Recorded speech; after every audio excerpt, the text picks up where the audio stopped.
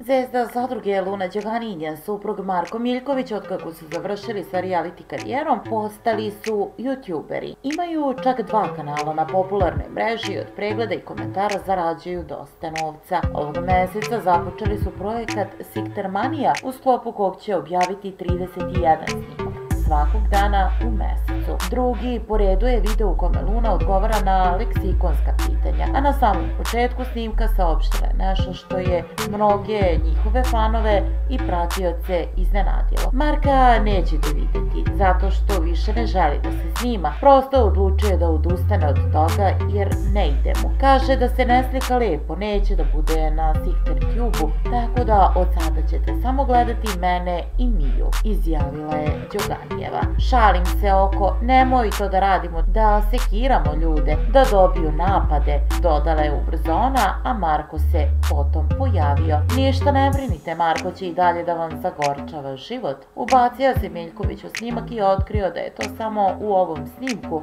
a da će ga već u sljedećem opet svi vidjeti.